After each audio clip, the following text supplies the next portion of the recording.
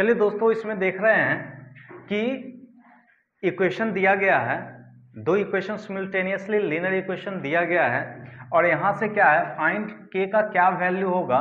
जो ये system of linear equations जो होगा इन्फाइट नंबर ऑफ़ सॉल्यूशंस हो जाएगा। तो चलिए देखते हैं। K minus one into x plus one minus minus one into y plus minus minus one into y y और फाइव अगर साइड चेंज करेगा तो ये साइन क्या हो जाएगा? माइनस फाइव हो जाएगा और plus plus minus minus five तो ये क्या हो गया? ए वन ये हो गया बी वन और ये हो गया सी वन ओके सेकेंड में है के प्लस वन इंटू एक्स ये क्या हो गया? A two one minus k into y ये हो गया बी टू और ये हो गया three k plus one side change करेगा, minus three k plus one हो जाएगा और ये हो जाएगा सी टू। ये क्या हो जाएगा?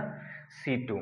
दोस्तों, a one plus b one plus a one x plus b one y plus c one equal to zero, आप जानते हैं, ये लीनियर इक्वेशन का फॉर्म है और हमने इसको उस फॉर्म में ले आया। अब यहाँ से जो कंडीशन है, सबसे पहले इनफाइट नंबर ऑफ़ सॉल्यूशंस का कंडीशन लगाएँगे और वो कंडीशन है a one by a two equal to b one by b two equal to c one by c two और यहाँ से हम के का वैल्यू फाइंड आउट करेंगे और उसी के का वैल्यू अगर इस इक्वेशन में पुट करते हैं तो इस इक्वेशन का इन्फाइट नंबर ऑफ़ सॉल्यूशन होगा। तो हमें सिर्फ़ क्या करना है? के का वैल्यू निकालना है, क्योंकि हमने इन्फाइट नंबर ऑफ़ सॉल्यूशंस का जो कंडीशन है, उसको यहाँ बैठा लिया है। चलिए k minus one by k plus one equal to minus one by one minus k equal to minus five by minus three k plus one आप यहाँ से इस दोनों को हटा सकते हैं। इसको इससे कंपेयर करते हैं और इसको इससे कंपेयर करते हैं।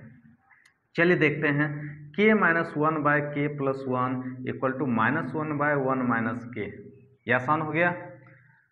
चलिए यहाँ से भी क्या करते हैं माइनस कॉमन ले लेते हैं। तो ये क्या हो गया? के माइनस वन ये माइनस माइनस कैंसिल हो गया। एंड माइनस वन चलिए यहाँ से भी क्या करते हैं? माइनस कॉमन ले लेते हैं। ये वन के माइनस वन हो गया और ये five by three k plus one हो गया। ये माइनस माइनस कैंसिल हो गया। अब क्रॉस मल्टीप्लिकेशन कर देते हैं। ये बहुत ही आसान हो गया। क्रॉस मल्टीप्लिकेशन क्या होगा? के माइनस वन का whole square equal to one k plus one and यहाँ से करते हैं वन इंटू इंटू दे देते हैं। आप समझ सकते हैं। इंटू हम दे देते हैं जिसे आप आसानी से समझ सकते हैं। नहीं तो बहुत समय क्या होता है? परेशानी होने लगता है। चलिए देखते हैं ये k square minus two k plus one equal to ये क्या हो गया? के प्लस वन एंड यहाँ से क्या गया? Three k plus one equal to five k minus five अब हम क्या देख रहे हैं? K square plus one plus one cancel k यहाँ से कॉमन कर लिए के माइनस टू इक्वल टू के ये के से के कैंसिल हो गया. के माइनस टू इक्वल टू क्या हो गया?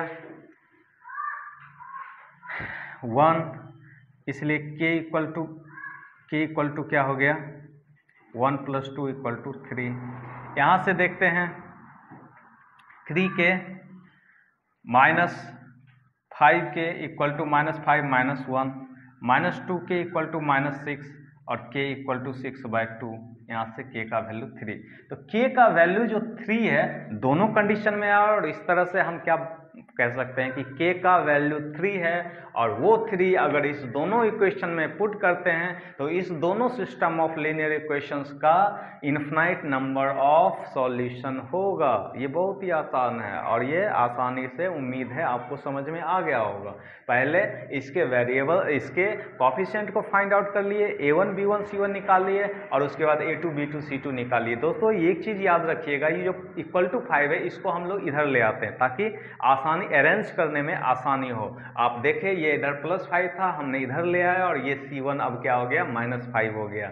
ये इधर प्लस में था, ये पूरा सिस्टम को जब हम इधर ले आए तो ये क्या हो गया? माइनस में। और सी टू का वैल्यू क्या हो गया? Minus three k plus one ठीक है? या डायरेक्ट भी आप कर सकते हैं। अगर यहाँ प्लस है तो सी वन क्या हो गया? माइनस हो गया माइनस फाइव हो गया। अगर यहाँ माइन प्लस है दोनों तो क्या हो गया? सी टू माइनस हो गया। लेकिन जब अरेंज कर लेते हैं तो ये बहुत ही आसान हो जाता है। तो उम्मीद है दोस्तों, समझ में आ गया होगा और समझ में आ गया होगा तो दोस्तों आप सब्सक्राइब करें और ज़्यादा से ज़्यादा व्यू को बढ़ाएँ। और व्यू कैसे बढ़ेगा जब आप इसे शेयर करेंगे। और जब शेयर करेंगे तो सभी को इसका फ़ायदा होगा। तो जो वीडियो बनाने का हमारा उद्देश्य है वो पूरा होगा। Thank you.